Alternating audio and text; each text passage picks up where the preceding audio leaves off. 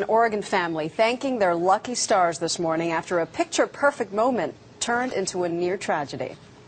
The Pitton family was on a family vacation to the Oregon coast with cousins from Iowa. They stopped at a state park along Highway 101 to admire the view of the Pacific Ocean. Three kids posed for a dramatic photo when three-year-old Elena Pitton tumbled through a fence towards the lip of a 150-foot high cliff. Oh my god! Oh my god!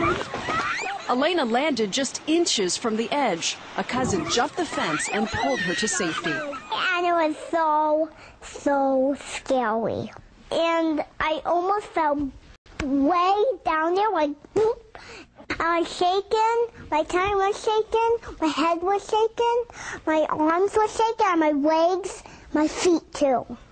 Her parents say they're making the tape public in hopes such locations are made more kid-friendly heart pounding and, and, and that terrifying feeling that I really have never, I have never experienced that just terrifying feeling like that before. The family says the three-year-old wasn't hurt and they have no plans to take legal action over the frightening near tragedy. That's refreshing. That's very not so scary. the girl is so cute. Oh, oh an angel. I'm a Lego chicken. my feet, my feet. So cute.